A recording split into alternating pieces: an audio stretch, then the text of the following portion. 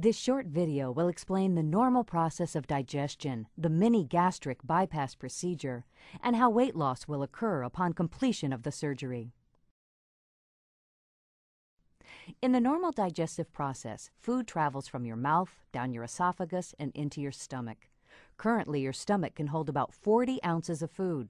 Once in your stomach, the food combines with digestive juices containing acids and enzymes that help break it down into smaller particles. Once broken down, the small particles are slowly released into the first part of your small intestine, the duodenum. Most of the calories and nutrients from the broken down food are absorbed in the duodenum and the jejunum, which is the second part of the small intestine.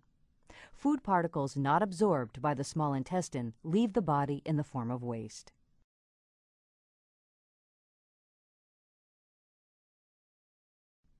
The steps in the mini gastric bypass involve placing five trocars in your abdomen, creating a narrow stomach pouch with an endoscopic stapler, measuring to a bypass point on the small intestine, creating an anastomosis between this bypass point and the small stomach pouch, and finally, reinforcing the anastomosis with sutures. The mini gastric bypass surgery begins with the surgeon inserting five trocars into your abdomen. A trocar is a tool that has a hollow sleeve and allows your surgeon to pass a laparoscopic video camera and other endoscopic tools into your abdomen. This allows your surgeon to perform the operation from outside your body. Your surgeon will use an endoscopic stapler to divide your stomach into two parts. The smaller part, that connects to the esophagus, is reshaped into a long narrow tube and will serve as your new mini stomach. It will only hold 4 to 6 ounces of food. The larger portion of your old stomach will remain alive and inside your body. It will still produce digestive juices to aid in digestion, but it will no longer come into contact with food. Next, your surgeon will measure the length of your small intestine that will be bypassed.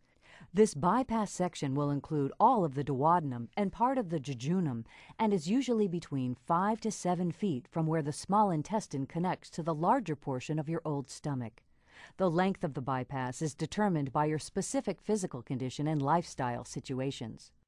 Your surgeon will then connect the end of your new mini stomach pouch to the bypass point of the small intestine using the endoscopic stapler.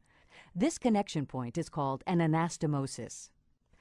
Once this connection is completed, your surgeon will reinforce the outer circumference of the anastomosis with sutures. Finally, your surgeon will close the trocar holes with sutures.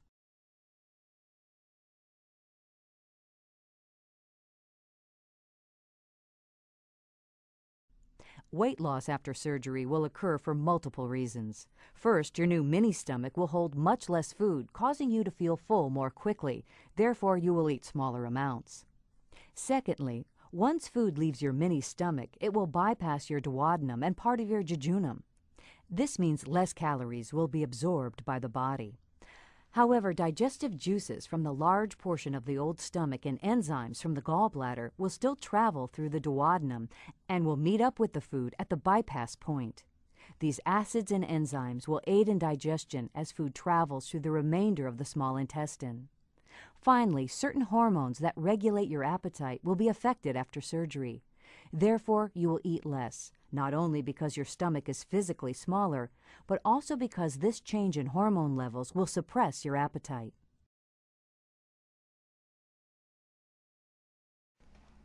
Although the mini gastric bypass has some similarities to two other bariatric procedures, the sleeve gastrectomy and the Roux-en-Y gastric bypass, there are some important differences. The sleeve gastrectomy is a restrictive-only procedure that, like the mini gastric bypass, creates a stomach pouch along the lesser curve.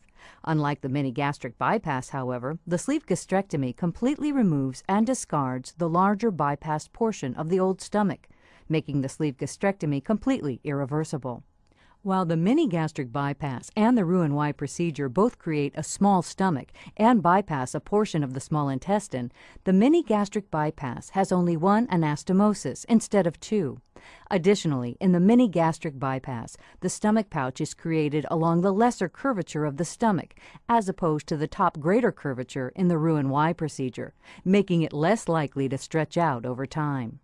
Finally, these two features, the single anastomosis and the long stomach pouch along the lesser curve, make the mini gastric bypass easily reversible or revisable should the need ever occur.